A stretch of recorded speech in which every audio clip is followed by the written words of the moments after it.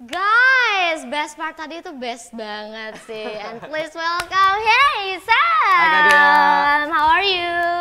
Baik, Kita jadi baik. sapa-sapaan lagi deh. Paling deket sama siapa? Paling deket sih kalau cowok em, sama Karica sama Nuka sama Bang Ola. Ya iya, cowok kan cuman itu doang nih. Mohon maaf nih Sam. Yang paling- deket, yang paling kayak jadi tempat kamu mencurahkan Oh. sisa-sisa kekesalan, kelelahan gitu. Paling sih yang paling bener-bener eh, karena aku kan eh, walaupun aku kayak gini aku juga Kayak mana tuh? Kayak gini tuh kayak aku gimana? tipe cheerful kayak gini Oke, gitu. oke. Tapi aku Seneng tipe banget dia. tipe anak yang introvert. Aku udah sempet aku udah ngecek kalau aku tuh introvert. Mungkin Iya, aku ada kan tes-tesnya itu aku ya. udah- enggak, aku udah sampai ke waktu itu sempet dicek juga sama kayak dokter gitu kan. Oke, udah pernah oke, datang oke, kan. heeh. Dia bilang kalau aku tuh justru 80% aku introvert. Wow. Jadi aku ceri- aku ngomong kayak gini tapi aku nggak cerita apa yang ada dalam. Aku ngerti gak sih? Oh, Kayak, ngerti, ngerti, Itu ngerti. Iya, iya, introvert kan bukan berarti yang kayak pendiam. Iya, iya, iya, iya. Oke, oke, oke, oke. Dan aku tuh kan juga anak introvert itu butuh tempat cerita kan satu orang. Bener. Jadi kayak dan aku biasa cerita tuh sama Karica. Oh gitu. Karena Karica udah kayak kakak aku dari dulu sekamar gitu dan Oke. cerita semua tuh ke dia gitu. Eh, kalau butuh temen cerita DM aku juga apa-apa sih Sam. Uh langsung aku habis ini dijamakin sama fans-fans semua Enggak. ini. Richard, kalau cewek siapa? Hmm, siapa ya? Hayo. Cewek rame sih tapi Uh, coba aku kasih pilihan. Tiara atau Ziva? Ah, tadi udah rame banget. kalian tuh suka Kenapa?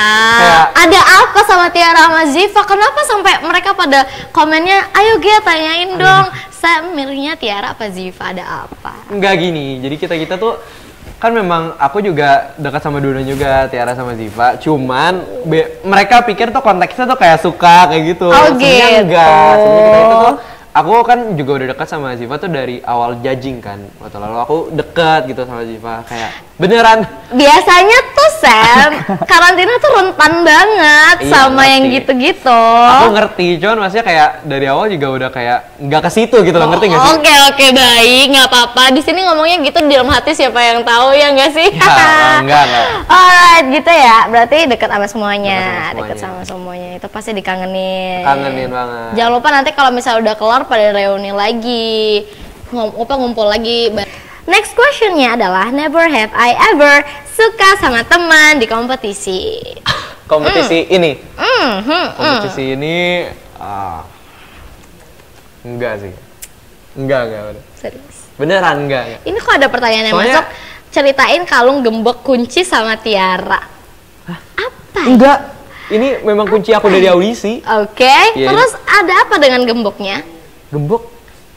Oh enggak, waktu Kenapa tuh? kebetulan si Tiara tuh beli kunci gembok, Oke, beli kalung, kalung gembok, gembok. sekalian kayak eh, sama kalung-kalung lainnya gitu ada kalung warna- gambar bulan, gambar bintang gitu. Jadi waktu lalu eh, mungkin pas dia lagi pakai gembok gitu. Oh, kalian tuh ya nggak usah Tuh. bikin salah paham deh. Banyak banget yang kayak waktu aku sama Ziva tuh Mm-mm. Sebenarnya kita cuman yang kayak tiba-tiba sahabat terus dikasih lagu cinta gitu, jadi kayak aneh. Oh, Jadi baik gitu. Tapi tapi biasanya yang kayak gitu tuh mendukung suasana aja sih. Kayak kita kan nggak pernah tahu kaliannya. Hmm, Gimana? apa? Temen ya? Teman bener teman. Teman denger netizen. keluarga sih karena kalau di sini itu udah ngerasa kayak ya udah mereka tuh udah jadi keluarga aku kan. Iya. Kayak aneh gitu nggak sih kalau misalnya ada yang kayak suka-suka sama keluarga gitu. Jadi Sasa aja kok nggak aneh-aneh kan keluarga keluarga ketemu gede. Alright, tapi ada pertanyaan nih kalau di idol yang sekarang nggak ada, gimana kalau di idol junior ada yang nggak yang pernah kamu sukain? jujur waktu Idol Junior pernah. Uh, dia ngaku. Cuman- siapa? Enggak sih, enggak. Nggak boleh Enggak- sebut enggak pernah, ya. enggak pernah, Nggak enggak pernah. pernah. Ya namanya suka-suka wajar lah ya, gitu. Suka suaranya. Iya, betul. Suka personality-nya. Ih kalian tuh jangan aneh-aneh. Gitu, Benar. kayak, "Oh, bagus," gitu, keren. Nggak apa-apa. Siapa tahu itu bisa lebih memotivasi kamu. Tuh langsung disebut merek tuh Sharon ya. Baiklah. Ayo. Enggak. Next, ini oh ini yang terakhir ya. Never have I ever berdoa supaya temen tidak lolos saat kompetisi. Enggak pernah. Enggak. Aku nggak pernah dan nggak pernah kepikiran sih. Oke. Karena ya aku fokus berdoanya buat aku gitu nggak nggak ada fokus berdoa buat orang karena kan kayak ya udah fokusnya biasa nampilin yang terbaik aja gitu kan bener. kayak kalau misalnya fokus doain orang nggak lolos kayaknya Itu juga juga itu sih. juga bukan urusan aku juga kan mereka mau ngapain Bener banget, justru karena eh, dari yang aku alami di idol itu kita kayak saling support. Saling support. Kalau bisa jangan ada yang kayak eliminasi kayak malam Iya, ini kayak udah, gitu kan. terus gini aja. Udah lah kita bareng aja terus biar bisa perform terus biasanya sih kayak gitu. Alright deh kalau gitu Sam, kamu eh, akhirnya harus selesai di Indonesian Idol. Ada nggak yang pengen kamu sampaikan ke siapa pun ke teman-teman kamu misalnya kayak kamu mau nyampein pesan dan kesan apa? Buat judges, buat fans kamu, silakan.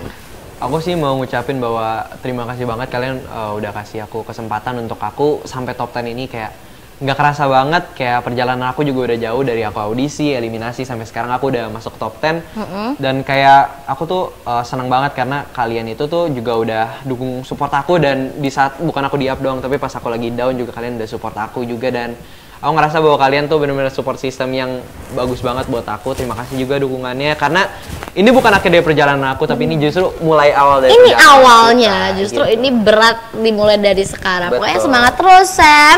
Dan kita mau bacain komentar sebentar nih Iya. yang udah masuk. Oke. Mana? Mana? Oke Sam kapan buat lagu dan maunya tipe lagu yang seperti apa? Oke, aku itu sebenarnya tipe nyanyi aku tuh yang kayak eh kakak dengar kan kayak karakter aku tuh yang husky husky. Jadi kayak aku Nah. sebenarnya tuh nyanyinya tuh lagu soul R&B kalau nggak jazz gitu-gitu. Jadi kayak ada ada sentuhan yang kayak akustikan gitu loh, ngerti nggak? Makanya aku biasa tuh kalau eh, apa aku nyanyinya ambil pakai gitar gitu. Jadi kayak sebenarnya lagu tipe-tipe lagu aku tuh yang kayak tipe-tipenya Kardi tuh Pramono. ah Nah, Dan lagu-lagu kadang aku kan dari kecil juga kadang-kadang udah ciptain lagu kan dan tanpa aku sadari lagu, tanpa aku sadari lagu-lagu aku kok ya udah tipe-tipenya yang kayak kayak gitu-gitu yang kayak ya, tanpa aku buat juga ya naluri dalam hatinya kayak gitu gitu. Ah, tapi kamu songwriting juga? Kadang sih. Oh, oke. Kayak kadang kalau lagi ada inspirasi sih. Karena kalau dipaksain jadi Iya jelek nanti bener lagunya. bener bener Iya nggak bener sih? oke. Kamu biasa dapetin inspirasinya dari apa aku dapet inspirasinya apa kamu harus merenung atau kamu habis nonton bisa dapet inspirasi Enggak sih, paling kayak kadang-kadang kalau misalnya kita lagi aku lagi ngerasain apa atau misalnya kadang-kadang juga lagi main gitar terus ada nada yang kepikiran gitu ya udah kayak Tulis aja lirik, gitu. tulis. Nah, Oke, I see. Tulis aja tulis. Oke, next question. Sam, apa komen kamu buat Nuka yang sekarang cowok sendirian di Idol? Hmm, semangat Nuk. Udah nggak ada. Jadi kayak kita kan tinggal berdua gitu. loh. Mm-mm, Jadi kemarin, kayak cowok juga udah tinggal berdua dan pas aku keluar Nuka kayak Sam, gue sendiri dong tidur sama kru. bener bener bener bener. kan kayak Kak Abdul juga kayak Iya gitu kan. iya dulu dia juga kayak gitu sih. Alright, semangat lah pokoknya buat Nuka. Oke, apalagi, apalagi nih? Ada pertanyaan apa? Boleh di scroll scroll lagi? Oke, Ziva nangis kejer ya pas Sam keluar. Wow, gimana tuh?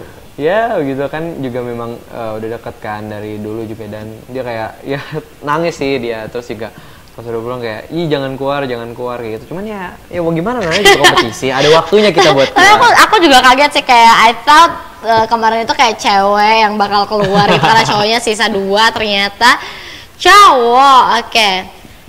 Ah, Sam. Ini seru nih. Aku juga ngerasain soalnya Sam termasuk salah satu peserta yang paling muda dan maaf banyak mendapatkan kritik, cacian bahkan makian. Tapi gimana caranya punya mental yang sekuat itu? Share, share to us.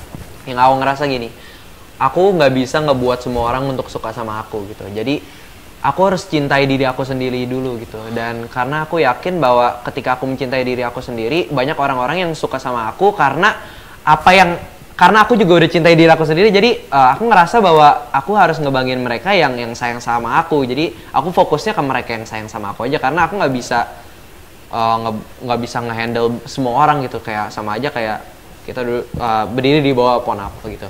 Kalau pohon 100 apel jatuh gitu kita nggak bisa ambil semuanya kan apelnya juga. Dan kita nggak bisa em, ngebuat semua orang suka sama kita karena kadang-kadang bahkan yang kayak artis-artis udah terkenal aja juga masih banyak haters kan Benar. bahkan banyak banget dan aku ngerasa bahwa mungkin bukannya mereka apa cuman mereka kayak mungkin em, ya mungkin ada ada iri atau enggak kayak mereka Bisa, bisa. ngerasa pengen jadi kayak kita gitu dan So- aku justru kayak dulu kan aku juga ngerasa di posisi mereka kayak sebagai orang-orang yang kayak ya udah bukan penyanyi gitu dan sekarang aku ada di posisi ini aku ngerasa bahwa aku juga harus punya mental yang kuat gitu loh karena walaupun ada hate mereka tuh justru yang ngebuat kita naik.